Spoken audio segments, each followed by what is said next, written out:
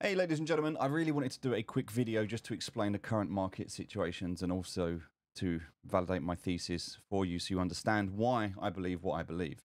So I keep saying this, I keep posting the same thing. Nothing's changed, nothing's changed, nothing's changed. A thesis is only as good um, as the candles that print to, to either validate or invalidate it, right? So at the end of the day, this could change and I might be wrong. You need to take that into consideration.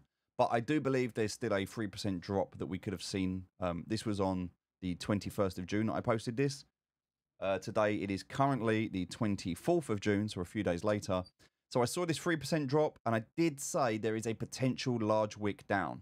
So I said we had a 3% drop to sit within this ascending bull flag, then a potential large wick down to flush out any leverage before the next leg up to 100k. If that's true, then it looks like uh, 100k Bitcoin by July, July, August. All right, so this is what I said. Whilst we were here, I said we are going to drop down to here with a potential drop down to this red line. So we could see a 55k Bitcoin. All right, so let's have a look from my, my thesis. Let's have a look at where we currently are live in the market. All right, so you can see from when I said it around here, we have dropped down. We have broken out of this trend and we are now in this, what I considered to be a, um, a liquidation event. This is a fake out. Uh, and what I believe we're going to see here, and what I'm hoping we're going to see here, is a, a push down, a quick push down with a very quick recovery back to this point before we head up. That's what I would like to see. Because if this continues to stay here and go either sideways or down, then it invalidates this entire flag, which changes everything. So it's very, very critical level right now. And I'm looking on the daily chart. So I need Bitcoin to really close above 61,500 at the end of today to continue this thesis. Otherwise, well, it just looks like it could possibly be a double top. And if it does work out something like a double top, we could see, oh, we, we could potentially see anything from like another 30% drop, which uh, we don't really want to see that because if we did see a 30% drop, well, that's going to put us back down to uh, somewhere around 40k Bitcoin. And I, I just, I'm not I'm not interested in that right now. We've got the elections coming up. We've got the presidential elections coming up. We've uh, got the quantitative easing that's happening at the moment. You know, with everything that's going on in the world right now, Bitcoin still feels like a, a solid play. Also, when you consider that a lot of the money is flowing into ETFs, it's flowing into micro strategies. When you look at how the money is flowing into Bitcoin, it's not going to flow out as easily. Uh, and a lot of the people that are selling, we're seeing the miner capitulation, which is happening, which always happens after a halving event. We're coming up to a, a, period of a few months after the halving event. So typically six months after the halving, that was April. So we're looking at, we've got May, June, July, which we're in now, that first part. And then we've got August, September, October, where we're going to start to see those uh, gains start to happen. I still think July, August is where we start to see this transition. So let's just have a look at the next chart here. And this is using glass, uh, CoinGlass.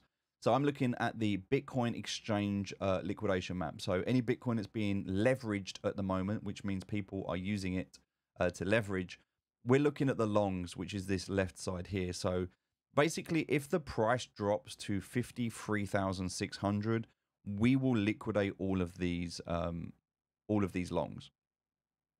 Uh, we, we've see, we can see here that there is a drastic point here around 59.5, so we're definitely going to hit 59.5.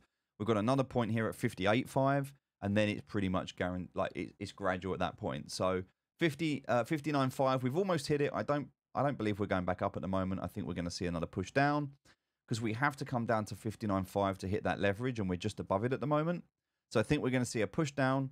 Um, I think we could potentially see a push down to 58.5, which will be around here.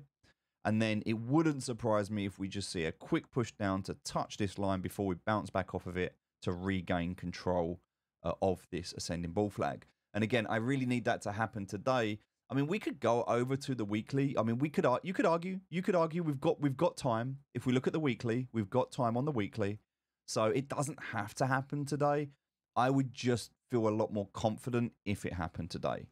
But this candle right now, the candle that has invalidated this this perfect, almost perfect and and, and it's not exact because you can see here there was a you know there's a little bit of give and play in it but overall we do need to see this recover and it needs to happen this week so within a week uh, i would say that by monday the 1st of july by monday the 1st of july before that it needs to be back at at that point 62000 So we need to see that 62,000 to to hit that by the end of this week. I am watching this closely. If we do not recover that level, that changes my entire thesis right now. I will still be following this trend line, but if it breaks this red line, I'm out. I'm out the market. It's as simple as that. I'm I'm out because at the moment this is the only thing. This red line is the only thing holding us up from going down to a potential.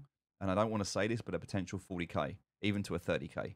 And I don't I don't want to do that. It it would make sense because no one's expecting it, and so it would really, really, really flush out all of the like because you've got all of these shorts in here at the moment, right? So we need to short. At, like, if you look at how much how much we've got loaded up on terms of shorts right now, so this short leverage, we would need to push up to sixty seven thousand to flush this out. So it makes perfect perfect sense right now when we're looking at the leverage. It makes from a manipulation point of view, it makes perfect sense to at least push down to 58.5, at least to flush out all of this activity, and then a quick push back up to 70,000. That's what I'm expecting. That that would put us from here to here. And that would play perfectly into this ascending bull flag, which we could then break out of and we can regain this 80,000 mark, or not the 80,000 trend line, push up. Because again, if we look at the entry level into this ascending bull flag, it's about 45%. If we look at an exit, which is going to happen around here, again, around 45% puts us up at 100k Bitcoin and allows us to recover those trend lines back from 2020. These are the 2020 trend lines um, that we can see. We have pretty much recovered from now this red trend line, which we did break. That was where we broke in May 22. We've recovered it. We touched it at the start of this year. We've just recovered from it. We had an absolute perfect Kobo where we broke trend, we kissed it and buggered off. So perfect Kobo there on a retest. Um, we're, we're sitting flawlessly right now inside this ascending bull flag. All we need to happen now is this to push down, push back up, come to here and push up. And that's what I'm expecting for 100k Bitcoin to happen at the end of July, beginning of August. Hope this helps. Plan accordingly and don't leverage.